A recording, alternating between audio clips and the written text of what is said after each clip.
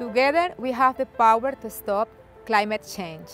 Today, we are facing a terrible crisis with our environment due to the lack of values in our society. We were taught to be competitive and were invited into the frantic world of consumerism. This has to stop.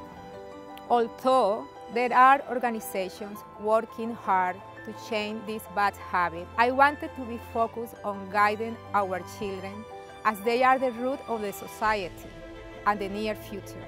Through a creative program like Orfe, I believe that teaching them the practice of core Orfe values and about climate change, they will be able to educate their own families in the best practices of the three R's, reduce, reuse, and recycle, to improve the health of the earth. I am Orfelina Millán, an environmental artist and creator of an eco-friendly community art program for children. From an early age, I have loved art and nature. Since moving to Canada in 2011, I've been creating eco-friendly products made of recycled and organic materials. In 2014, motivated by my son, I decided to volunteer at his school. I had the incredible opportunity to volunteer my skills teaching art at Blessed Trinity School. I created eco-friendly workshops for students in grade 1 to grade 8 and immediately felt connected with the passion they had for learning and the love for their artworks. Wishing to share and instill a sense of environmental awareness in those children, I was motivated to create the Orfe Eco Art program. Orfe Eco Art program is an experimental ecological art program that I specially designed to stimulate creativity and environmental responsibility in children. I founded Orfe looking to inspire the new generations to become leaders who work for the benefit of the planet. This program relies on different artistic techniques and the use of recycled materials. The children learn to create 2D and 3D artworks.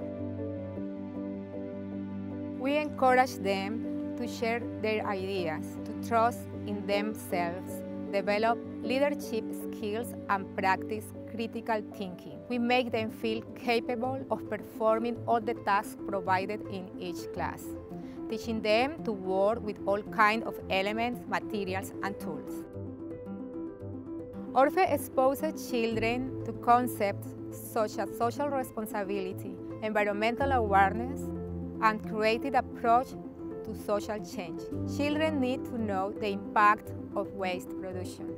So, Orfe program points with its actions to instill in children the respect for the environment. The best way to protect our planet is to avoid contamination. That is why the Orfe program strives to involve children to put the three R's into action. They learn to reduce, to reuse, and recycle.